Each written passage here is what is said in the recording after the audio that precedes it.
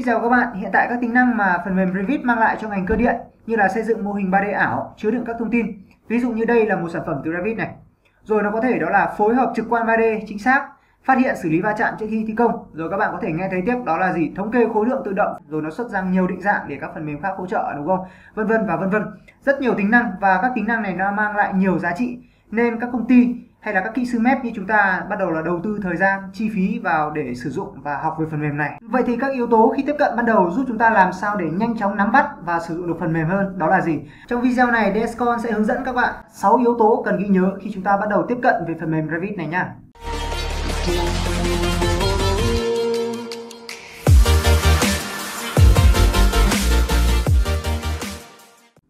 6 yếu tố đó là gì? Đầu tiên hãy xác định một tâm thế trước khi mà chúng ta học Revit đó là học Revit là không khó. Cái mô hình mà các bạn vừa được xem đó, đây là mô hình này. Thực ra khi chúng ta vẽ được mô hình này là không khó. Chỉ cần chúng ta tiếp cận được đúng hướng, đầu tư thời gian thực hành thì chúng ta sẽ làm chủ được về phần mềm Revit này. Yếu tố thứ hai mà chúng ta cần lưu ý đó là hãy lựa chọn một phiên bản Revit cho mình để sử dụng. Lựa chọn một phiên bản Revit ở đây đó là gì? Hiện tại thì có các phiên bản từ 2017 đến 2021 là các phiên bản mà doanh nghiệp hay các cá nhân hay sử dụng. Điểm đặc biệt khi chúng ta lựa chọn phiên bản Revit ở đây đó là Revit không thể hạ thấp đời được. Không giống như là AutoCAD. AutoCAD chúng ta có thể hạ từ 2018 xuống 2007 được, nhưng Revit thì không thể hạ đời được. Ví dụ như chúng ta mà dùng phiên bản Revit 2019 thì không thể hạ xuống 2018, không thể hạ xuống 2017 được. Tuy nhiên có thể nâng cấp lên được 2020, lên được 2021. Do vậy hãy cân nhắc khi lựa chọn phiên bản. Và nếu chúng ta đã lựa chọn được phiên bản để sử dụng rồi thì chúng ta hãy lên trang chủ của Autodesk, đăng ký một tài khoản và chúng ta tải phần mềm về để sử dụng. Nếu các bạn là sinh viên, các bạn sẽ được hỗ trợ sử dụng phần mềm này miễn phí trong vòng 4 năm. Trước kia thì Autodesk hỗ trợ cho sinh viên đó là sử dụng phần mềm này miễn phí trong 3 năm. Tuy nhiên hiện tại thì chính sách đã thay đổi và chúng ta chỉ sử dụng được trong vòng 1 năm thôi. Sau khi mà chúng ta tải về thì chúng ta tiến hành cài đặt và sử dụng. Việc cài đặt như thế nào thì tôi sẽ không hướng dẫn nữa bởi vì trên internet có rất nhiều tài liệu video hướng dẫn về cách cài đặt này rồi. Yếu tố thứ ba cần ghi nhớ ở đây đó là gì? Hãy xem và nhớ tổng quan giao diện của phần mềm.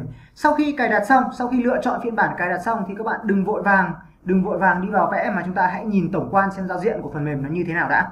Hãy xem giao diện tổng quan của phần mềm khi chúng ta chưa kích vào một dự án thì nó hỗ trợ cho chúng ta những tính năng gì ở đây. Ví dụ như đó là Open, New của phần Model và phần Family. Và hãy xem giao diện phía bên trong của một phần mềm khi chúng ta kích vào một dự án thì nó sẽ như thế nào. Chia ra làm được mấy phần. Ở đây chúng ta có thể chia ra làm được phần thứ nhất, phần thứ hai, phần thứ ba và phần thứ tư. Trong mỗi một phần này sẽ có các lưu ý cần nhớ khác nhau. Chúng ta sẽ truy tìm các tài liệu để hỗ trợ cho chúng ta cách ghi nhớ này.